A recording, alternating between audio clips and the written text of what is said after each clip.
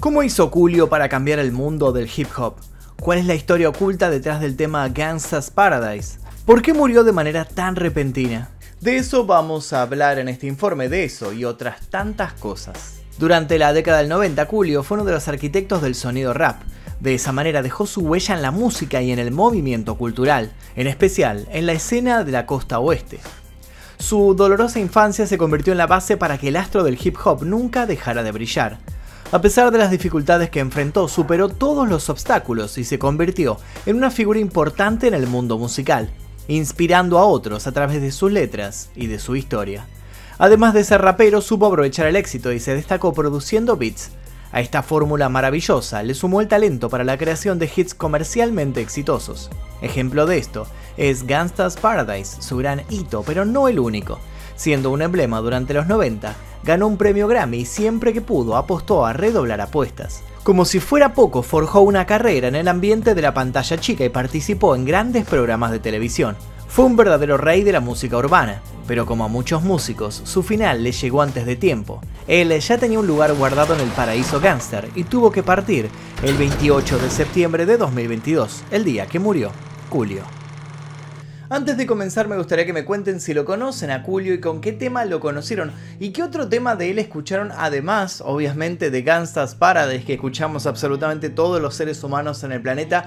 Quiero saber qué otro tema conocen de él y si lo vieron, por ejemplo, actuar en Batman, en Gravity Falls, lo vieron actuar en otras series, en otras películas. Quiero que me cuenten aquí debajo si tienen alguna anécdota relacionada con Julio y voy a leer todos, todos sus comentarios. También los invito a dejar sugerencias para posibles futuros videos y los invito ahora mismo, ahora ya, a dejar su like en este video porque eso nos ayuda muchísimo a que estos videos sean recomendados por YouTube y nueva gente descubra el canal. Estamos muy cerca de llegar al millón, así que intentaremos llegar lo más rápido posible. Y ahora sí, sin más interrupciones, comencemos. A finales de septiembre de 2022, Julio, a sus 59 años, era un hombre completamente activo. Se la pasaba viajando y creando por partes iguales. El 28 de septiembre había volado a Los Ángeles para visitar a un amigo de toda la vida. A la tarde, luego de merendar, el rapero pidió permiso y se dirigió hacia el baño, pasando unos cuantos minutos, seguía sin regresar. Su amigo se extrañó y cuando pasó un tiempo prudencial decidió ir a ver si estaba todo bien. Golpeó la puerta. Luego llamó a Julio por su nombre. Al no recibir respuesta comenzó a desesperarse. Intentó abrir, pero algo la trababa desde el interior. Empujó como pudo y cuando la madera cedió unos centímetros, metió su celular para ver qué pasaba dentro. En su pantalla se encontró con el cuerpo desplomado de Julio en el suelo.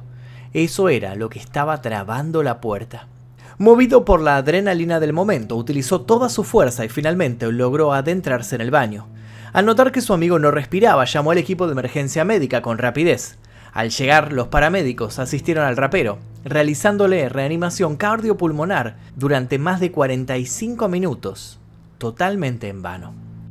Pero no nos adelantemos, para entender bien cómo fue que Julio llegó así a su último día, es necesario que comencemos por el principio. Julio nació bajo el nombre de Artis Leon Ivy Jr. el 1 de agosto de 1963 en Monessen, Pensilvania. En aquella ciudad su madre trabajaba jornadas completas en una fábrica para poder mantener a su hijo, ya que con el trabajo de su esposo la economía familiar no daba abasto. Tiempo más tarde, cuando Ivy tenía 8 años, sus padres se divorciaron y se mudó con su madre a Compton, donde pasaría gran parte de su vida. Ivy no gozaba de buena salud, tenía muchos problemas a causa de su asma. Al no tener medicación, evitaba estar en el exterior y se encerraba cada vez que podía en la biblioteca local.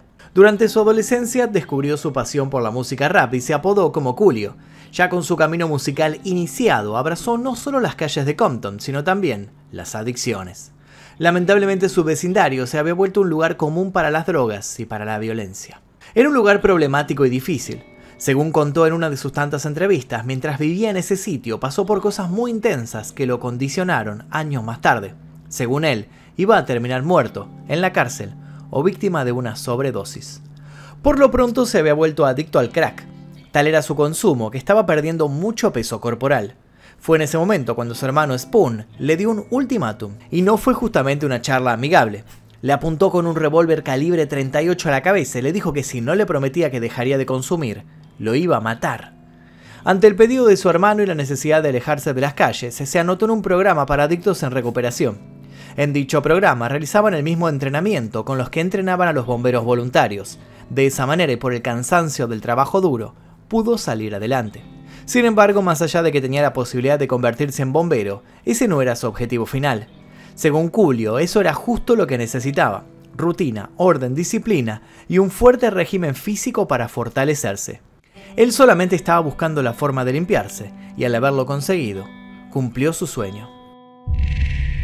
Cuando Julio tenía 24 años, grabó su primer sencillo, What You Gonna Do, y continuó con What Makes You Dance, Force Group, al año siguiente. Después de conocer a otros raperos en la escena de Los Ángeles y en una época donde las bandas eran algo importante, se terminó uniendo al grupo de hip hop WC y Mad Circle. Julio por fin había dejado de ser uno más del montón. Localmente se destacaba mucho y aprovechando el éxito firmó con Tommy Boy Records en 1994 y lanzó su álbum debut en solitario, It Take a Diff. El sencillo principal de ese disco fue Fantastic Voyage. Gracias a él pasó de ser el rapero del vecindario a ser conocido en todo el mundo. En la época donde MTV era un gran canal de música, el video de Fantastic Voyage se destacó entre las canciones de los otros raperos. Alcanzó el puesto número 3 en el Billboard Hot 100 y ese fue un gran paso para que el álbum llegara a ser de platino. Según él, It Take a Diff hizo que el barrio lo quisiera, pero Gangsta's Paradise hizo que los blancos lo aceptaran. Pero la verdad fue otra. La verdad fue que con ese tema lo comenzó a querer el mundo entero. Gangsta's Paradise no fue un tema como cualquier otro, fue una leyenda en sí mismo. Tengo 23 años, pero viviré para ver los 24, cantaba Julio en 1995 bajo las bases del Gangsta Rap. Al final Julio vio los 24 y muchos años más. Aquella canción terminó siendo el tema principal de la película Dangerous Minds, la película en la que Michelle Pfeiffer interpretó a una profesora que ayudaba a un grupo de jóvenes conflictivos. Además de esa particularidad, Gangsta's Paradise vendió unas 8 millones de copias en todo el mundo y fue número uno en Estados Unidos, Reino Unido, Irlanda, Francia, Alemania, Italia, Suecia, Austria, Dinamarca, Países Bajos, Noruega, Suiza, Australia y Nueva Zelanda. En resumidas cuentas, fue uno de los mayores hits de la historia del rap. Para que este tema llegara tan lejos, contó con la supervisión de nada menos que Stevie Wonder, la superestrella del soul. Pongamos todo esto en contexto. Gangsta's Paradise fue grabada a dúo con Larry Sanders, alias LB, un rapero de Los Ángeles que formó parte del grupo South Central Cartel, Justamente fue él quien le dio la idea a Julio de inspirarse en el tema Pastime Paradise de Stevie Wonder. Ambos músicos y su productor, Doug Rashid, desde el primer momento dejaron en claro que debían acreditar a Stevie Wonder como coautor y para eso debían contar con su total aprobación. Wonder dijo que sí, pero para que le diera el ok final, la canción no debía tener elementos obscenos u ofensivos en su letra. Según relató Julio, la primera versión tenía algunas vulgaridades y a él no le gustaron, Así que modifiqué la letra y cuando Stevie escuchó los cambios pensó que la canción era increíble. Y no se equivocaba. La versión original de Stevie Wonder, Pasta in Paradise, ya era increíble por varios motivos. El riff principal estaba inspirado en el preludio número 2 en Do menor de Johann Sebastian Bach. Además, hicieron algo inaudito para la época de su grabación. En 1975 habían emulado una sección de cuerdas con un sintetizador Yamaha GX1, algo novedoso, caro y que casi nadie tenía la posibilidad de hacer. Tal fue su éxito que Stevie Wonder ocultó durante un buen tiempo que lo había utilizado. Más allá de la base sólida que le ofreció Stevie Wonder a Julio, la clave también estuvo en la letra. Los primeros versos los creó en modo freestyle, con la primera parte improvisada el rapero escribió el resto de un tirón. Según el cantante, él creía que fue una intervención divina, ya que su creación total duró tan solo 5 minutos. A Stevie Wonder no solo le gustó la canción, sino que creyó en ella. Por ese motivo la interpretó junto a Julio en los Billboard de 1995. Desde ese momento fue una de las mejores canciones de todos los tiempos. Gangsta's Paradise, al ser la banda sonora de Dangerous Minds, siempre estará asociada al film. Antoine Fukua, quien fue elegido para dirigir el video musical de la canción, tuvo la idea de unificar al rapero y a la estrella del momento, Michelle Pfeiffer. Pero una cosa es querer y otra fue que la actriz aceptara. Sin embargo, se arriesgó y no pudo creer que ella dijera que sí desde el primer momento. Julio luego comentó a modo de broma, Michelle estaba un poco nerviosa porque no creo que hasta ese momento haya estado rodeada de tantas personas negras en su vida. La película Dangerous Minds fue un éxito y el video Gangsta's Paradise también. Pero hubo algo más. Lo que sucedió con aquella conjunción marcaría una época. La canción mostró que los raperos gangsters no solo están enfrentados entre bandas del este y el oeste, también podían trabajar con la élite de Hollywood y promocionar una película protagonizada por una actriz blanca. Vale aclarar que en un momento los medios de comunicación no veían con buenos ojos al hip hop y querían dividir en vez de sumar. Algo curioso dentro del boom de Coolio fue que en el año 1996 apareció una nueva versión del tema llamada Amish Paradise, una parodia creada y grabada por el humorista Albert Jankovic que alcanzó el puesto 53 en la lista de ventas.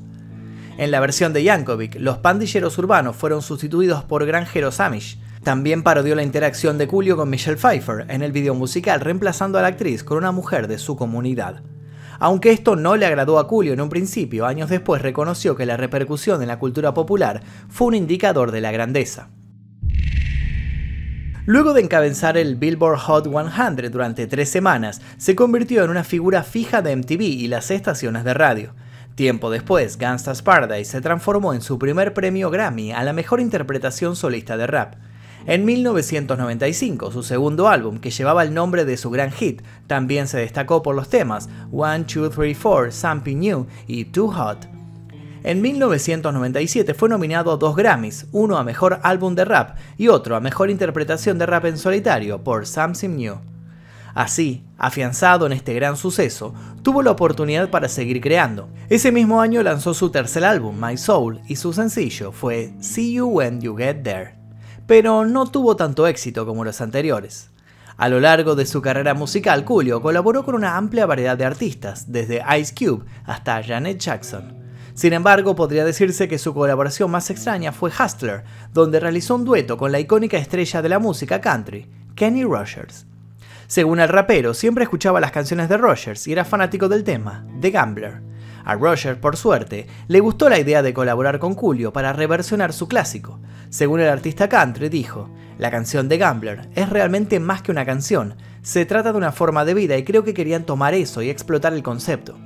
Dándose todos los gustos con el paso de los años, siguió sacando discos de estudio y colaborando con otros artistas.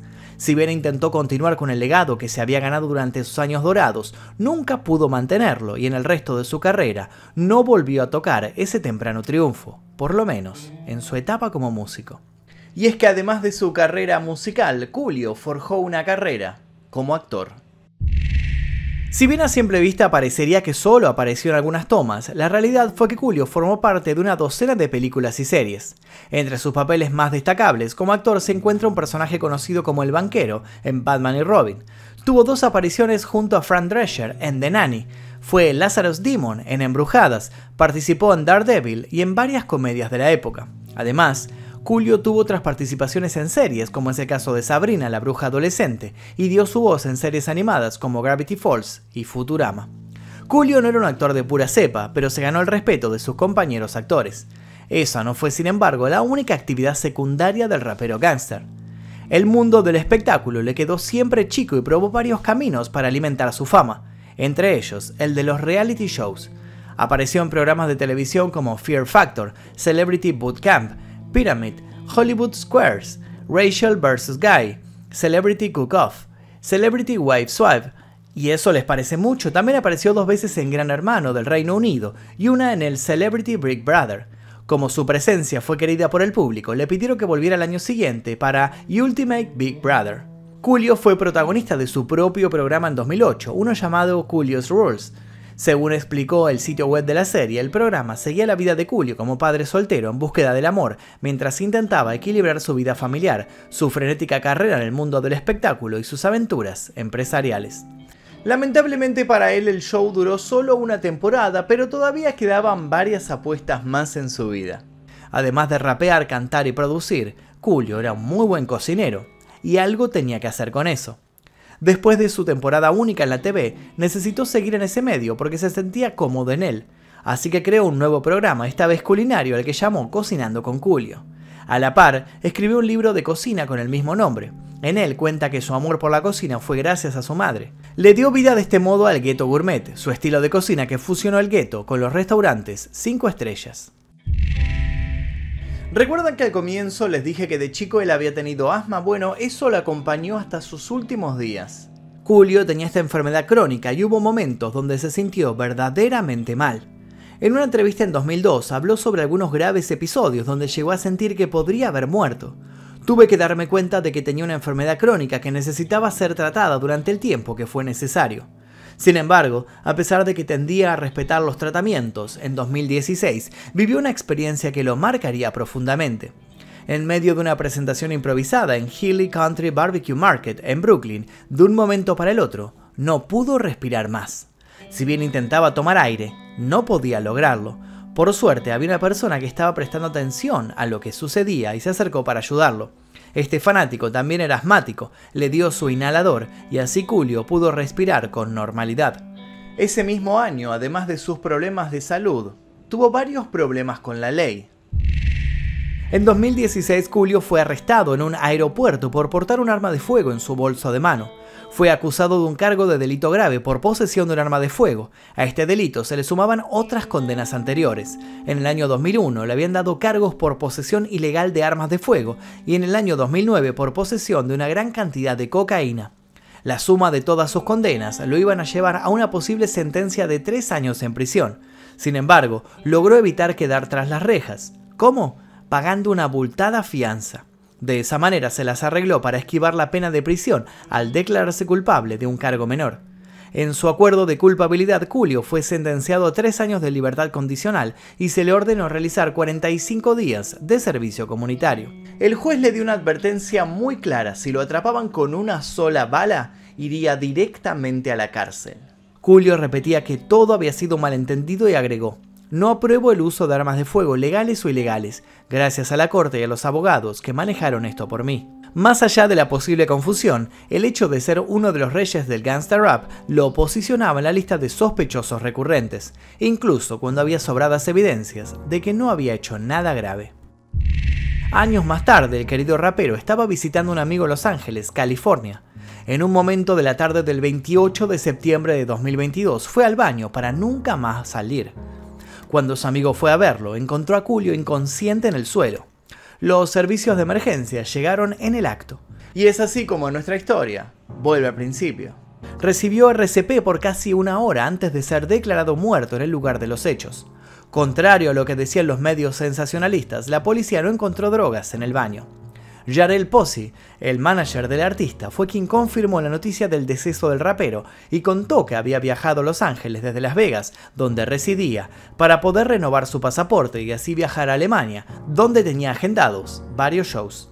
La causa de la muerte de Julio en un principio no estaba clara y se le atribuyó a su asma crónica, pero su representante aclaró que según la investigación forense el rapero habría sufrido un ataque al corazón. El funeral fue un tanto atípico. La ceremonia se llevó a cabo el 15 de octubre de 2022 y tuvo lugar en Mountain View Mortuary and Cemetery. Seguido a la despedida de los restos, hicieron una fiesta donde su familia directa y los amigos de Julio de la industria del hip hop se juntaron para despedirlo como él había pedido en vida. La mayoría vestía camisetas negras con la cara del rapero y las palabras Julio Forever. Circularon fotos donde los invitados sostenían el folleto que tenía una foto de Julio mirando hacia el paraíso y las palabras Artist Leon Ivy Jr. Julio, Rest in Gangsta's Paradise, 1 de agosto de 1963, 28 de septiembre de 2022. El artista había dicho que quería que la gente hiciera una fiesta para celebrarlo, no quería que lo despidieran entre llantos y melancolía. Así lo confirmó su última pareja, Mimi Ivy, quien dijo que él no quería un funeral ni un servicio conmemorativo, el cantante había pedido que sus restos fueran cremados, y fue así como procedieron. La herencia estimada que dejó Julio no fue tanta como se pensó en un primer momento. El patrimonio neto estimado del difunto rapero era de solo 1.5 millones de dólares. Si se lo divide para todos sus herederos, casi una decena de hijos, la cifra baja considerablemente. Más allá de su fama, él rapeaba porque le gustaba, no por el dinero. Ganar dinero nunca fue su principal motivación para hacer música. No estaba de acuerdo con que la gente hiciera algo solo por acumular más y más billetes. Una vez dijo, si quieres dinero, ve a ser abogado. Si quieres dinero, ve a jugar al mercado de valores. Ganarás dinero más rápido que en el hip hop. Su legado más importante no fueron sus ahorros, sino la profunda huella que dejó para siempre en el ambiente musical. La mayoría de los éxitos de Julio fueron y son himnos del hip hop. Además, unificó a los raperos y fusionó no solo los géneros, sino también a las culturas que en una época parecían irreconciliables. Y hasta aquí la historia de Julio, espero que les haya interesado la biografía de este artista, me lo pidieron muchísimo, así que aquí estamos brindándoles lo que ustedes siempre nos están pidiendo en el canal, así que los invito a dejar su like si todavía no lo hicieron, activar notificaciones y a suscribirse. También los invito a dejar un comentario con sugerencias para posibles futuros videos en este canal. Yo les voy a dejar acá un par de videos para que sigan haciendo maratón y sin nada más que decir me despido, mi nombre es Magnum Mephisto y nos veremos seguramente la próxima. Adiós. Exploración X, mi primer libro, ya se encuentra disponible en todas las librerías. Te dejo el link aquí debajo para que lo consigas en formato físico y en ebook.